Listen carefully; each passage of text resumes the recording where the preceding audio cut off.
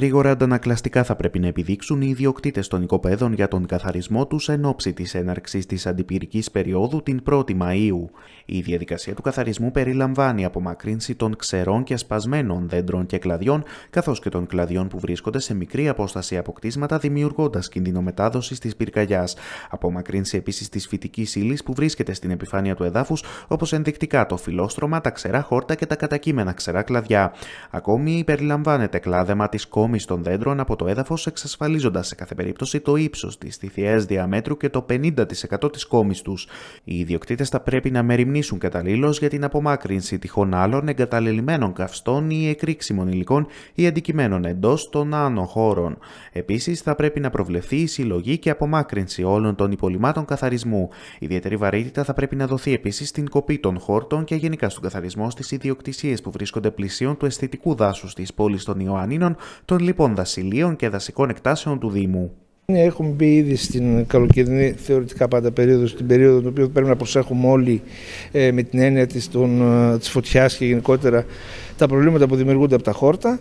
Οι καιρικές συνθήκες επιτρέπουν την γρήγορη αύξηση όλων αυτών. Ήδη αύριο έχουμε μια μεγάλη συνάντηση με όλους τους προέδρους των κοινοτήτων σε σχέση με τα οικόπεδα μέσα στους οικισμούς τα οποία θα πρέπει να ειδοποιηθούν άμεσα όλοι οι ιδιοκτήτες και να προβούν στον καθαρισμό του. Υπάρχουν πολλά προβλήματα με τους ιδιοκτήτες, τα οποία η υπηρεσία έχει αντιμετωπίσει τα προηγούμενα χρόνια.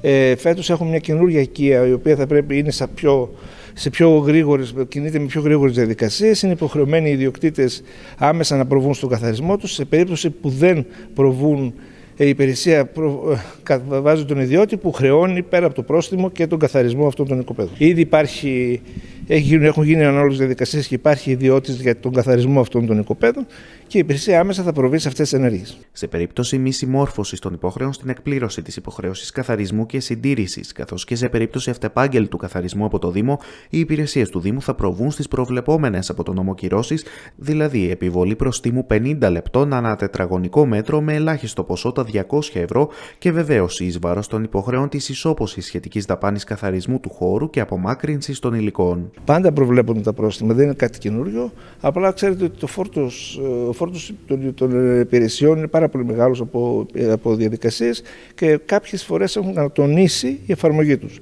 Θέλω να πιστεύω ότι πολύ γρήγορα θα εφαρμοστούν όλα αυτά από τις υπηρεσίες και θα υπάρξουν και τα ανάλογα πρόστιμα που φέτος είναι 50 λεπτά το τετραγωνικό μέτρο και όχι κάτω από 200 ευρώ και φυσικά το κόστος του καθαρισμού.